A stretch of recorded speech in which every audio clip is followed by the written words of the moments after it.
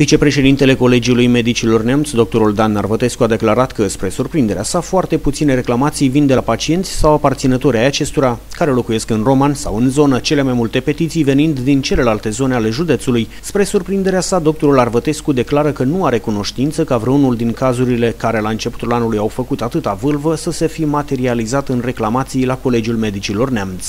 Asta e curios, că nici cazul cu bătrânul filmat n-a ajuns nici a mai fost un caz iarăși în litigiu jos cu un deces de un infarct anterolateral, n-a ajuns nici el la colegiu. În general, nu prea avem din Roma în cazuri la colegiu. Marea majoritate a cazurilor sunt din Piatra Neamț și din Târgăneț. Marea, marea majoritate, adică spus așa.